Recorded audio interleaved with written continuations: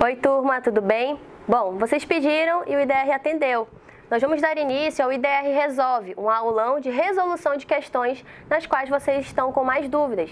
Essas questões são relativas aos conteúdos que nós já vemos trabalhando em sala de aula. A nossa primeira questão vai falar sobre coeficiente de solubilidade. Eu trouxe aqui uma questão da nossa lista de exercícios, aquela que eu deixei antes de nós entrarmos nesse processo de suspensão das atividades das nossas aulas online, tá bom? Essa questão vai falar especificamente da solubilidade do cloreto de potássio. A solubilidade do cloreto de potássio em 100 gramas de água em função da temperatura é mostrada na tabela abaixo. Então, a gente observa aqui ó, que existem valores né, para a temperatura, a variação da temperatura de 0 a 50 graus, e a solubilidade em gramas de KCl em 100 gramas de água, ela também sofre uma variação em função da temperatura.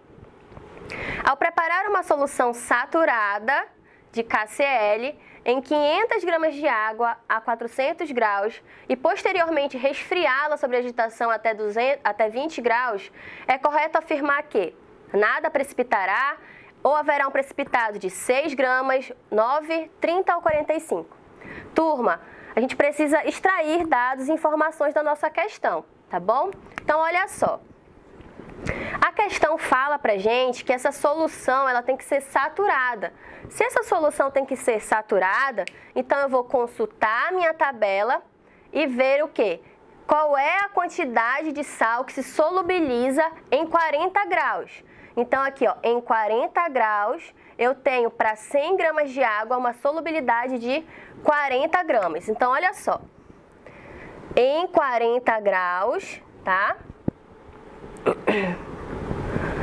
Para 100 gramas de água, eu consigo solubilizar quanto de KCl? 40 gramas de KCl, nosso cloreto de potássio.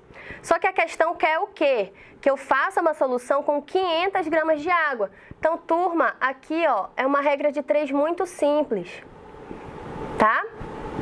Então, eu vou ter quanto? A gente pode fazer uma simplificação aqui, ó. Quanto é que é 5 vezes 40, né? Então, eu vou ter aqui, ó, 200 gramas de KCl. Só que essa quantidade aqui de KCl é para essa temperatura, tá? Para essa quantidade de água que a questão está me pedindo. Observem que ele fala posteriormente ao resfriá-la sobre agitação até 20 graus. Então eu vou ter uma nova situação.